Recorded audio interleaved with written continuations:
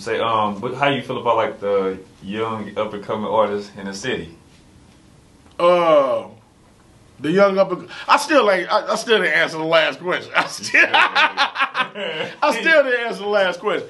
The, the the whole nine man. Let me let me answer the last question, Yeah, man. yeah. The whole nine broke up because I and I I, I thought I might have answered it.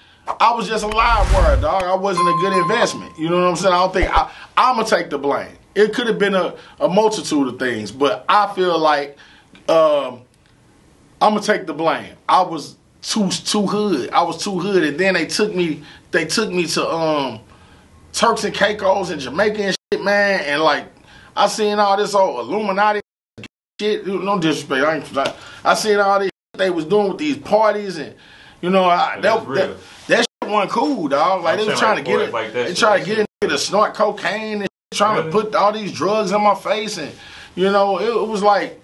It wasn't cool, dog. It was like it's a real fast life. If you if you if you ain't got no discipline, you gonna be fucked up. Like I went to this hotel, it was called the Standard or something.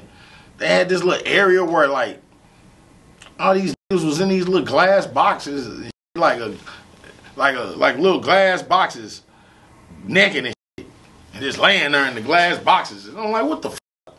Uh, so I guess they had to wear like you go in there and you pick a nigga and fuck him or something, or and he, they open up the box and the nigga jump out and fuck you and you. Fuck Man, dog, it was it was some crazy shit, dog.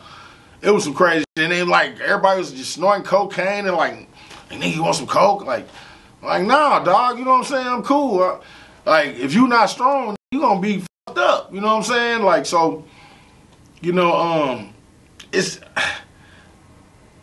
it's a it's a it's a it's a crazy. You got to be a godly person and a person with some type of deep spirituality to even make it in in, in this business or even last. I believe. I think Jay Z Jay Z got to be a strong ass to do this shit at that level.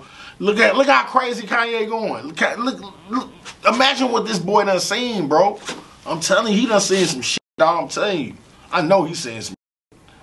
like, like you know what I'm saying? They just and they just come in there. They guys got his motherfucking wife just in there, just yeah. You know what I'm saying? they just got his motherfucking. This nigga walk in the room. His, his nigga got his dick all in his wife booty. Yeah, you like it, Kanye? You know this shit on.